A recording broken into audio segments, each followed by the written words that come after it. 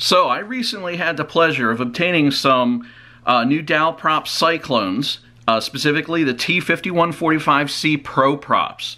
Um, as you guys know, Dal Prop has a program now where they allow a small batch of these to be released um, and sold to the public for reduced price in exchange for responses and feedback because they're trying to make their products better. They're trying to go ahead and address, you know, what it is we're looking for as pilots in these prop offerings. So, I had the opportunity to fly these for a handful of packs the other day and have some thoughts and well, let's definitely talk about those thoughts.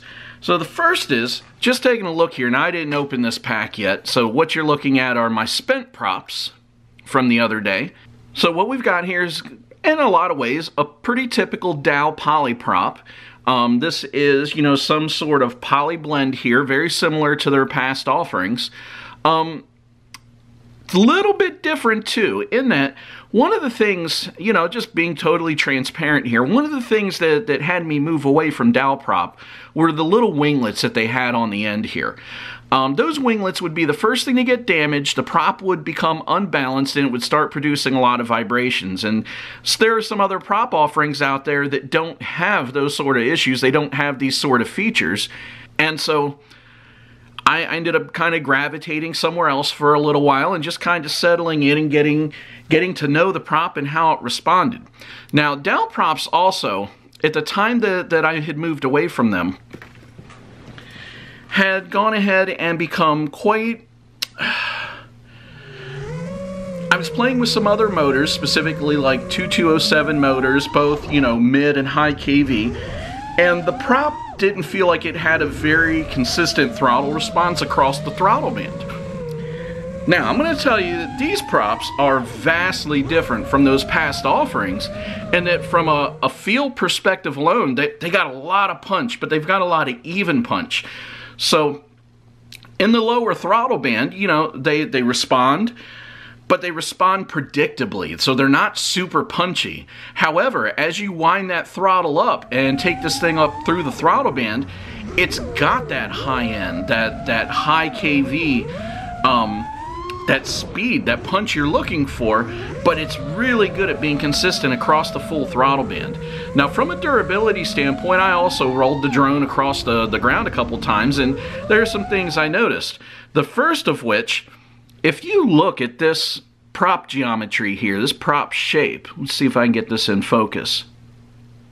If you look at the geometry, you know, it, we're seeing a pretty common theme here with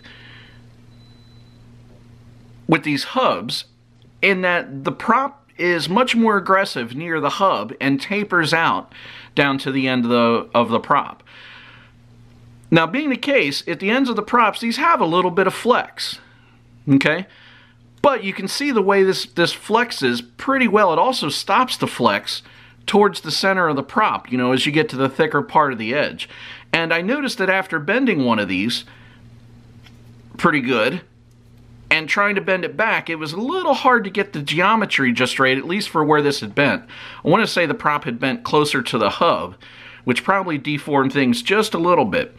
But the second thing I noticed, you know, old Dal props would get that kind of white, what do, what do you want to call it, where you could see that the plastic was breaking down when you bent it. And these, even after going through a really harsh bend and coming back, you can see they're not discoloring.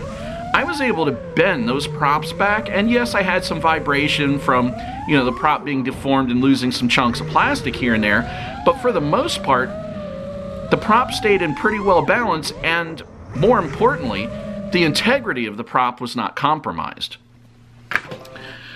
So my thoughts are that I like them. Dal has definitely gotten my attention again. There's a lot of good design coming into these, and a lot of good thoughts, and they're playing out in practicality very good. Um, having the consistent throttle response is super important, uh, especially for, for a pilot like myself that's always playing throughout the complete throttle band. And so, so honestly, the only thing that, that's in this design that I don't like is this winglet here. It's not even a winglet anymore, it's more just a point because it's the first thing that'll get broken off and I know that a lot of people are going to look at that and say, well, Josh, that's really not you know, a whole lot in regards to weight, but it doesn't take much, especially in these high KV applications, to go ahead and throw your weight off. So, with that said, it didn't really affect my flying the other day. So there you have it. If you guys are interested in getting up to date with Dal Prop and seeing what their newer offerings have, seeing the direction that they're going in regards to prop design and how that plays with your flying, I would it would be hard pressed to say that it's wasted time and money. Go ahead and get you some sets, see what it's all about. Remember to fly safe, be smart, and happy crashing.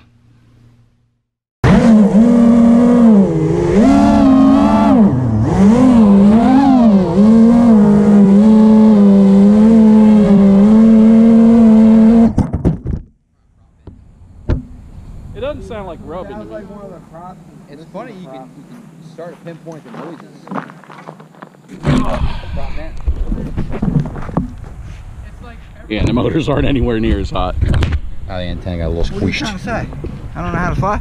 No? Oh, here's. That's the bent prop right Ah, Make sure she's tight. That thing is done.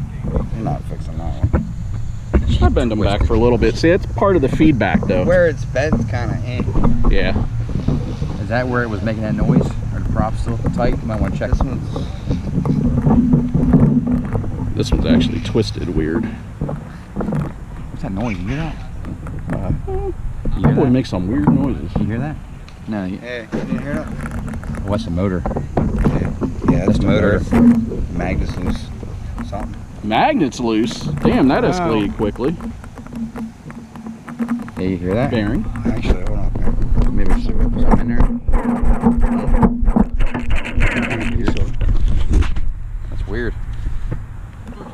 Oh, I'm missing a screw. Or no, did I only put two in this one? You know what? I might have only put two in these. That's weird. It sounds like a piece of wire like from the stator.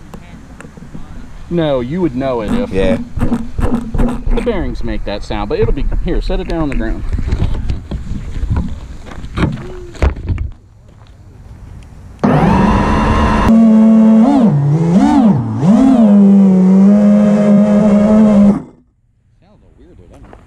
Well, that's the props Oh. because they're all fucked up after flying into. Uh,